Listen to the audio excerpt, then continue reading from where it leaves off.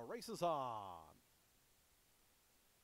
Bourbon Gal sent for speed toward the inside. Senseless Drama is forwardly placed, though, and Senseless Drama going to be quickest of all and lead him into the stretch for the first time round. Daddy's Joy up from the outside. Bourbon Gal now settles back a joint second along with that one.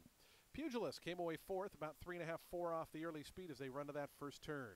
Two more back to Slime Queen. Midnight Pirate stays toward the inside from that inside draw. Then we come back to Windy City Girl, who has three beat early on. Those are classy, of course. And Talia, and at the back early on is Lullaby Land. So onto the back stretch they go. Senseless Drama and Maddie Rowland in front. Senseless Drama onto the back stretch, peeling off a four-length advantage here to Bourbon Gal in second. Daddy's Joy continues on in third. Pugilist a little headstrong in fourth. Now settles down a little bit better.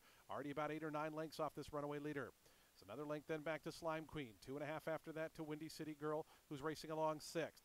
Down toward the inside, Midnight Pirate is seventh. Another length to Antalya, Classy, of course, and Lullaby Land still trails. Just over three furlongs to go, 45 and 2. No turning back here for Senseless Drama, who takes him to the far turn. The lead is now three and a half lengths. Senseless Drama in front. Bourbon Gal is second. Pugilist is up a spot. Went by Daddy's Joy is back fourth. Slime Queen tries to move up alongside that one. It's three more than the Windy City Girl, who's also trying to get going. Senseless Drama to the quarter pole. The lead is now a length and three quarters.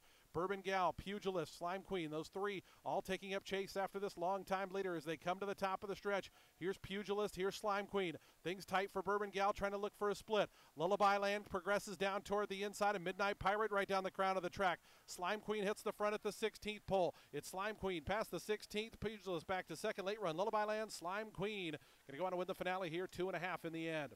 Second ended up really tight there between Lullaby Land, who was flying. Pugilist also right there. Midnight Pirate finished fourth.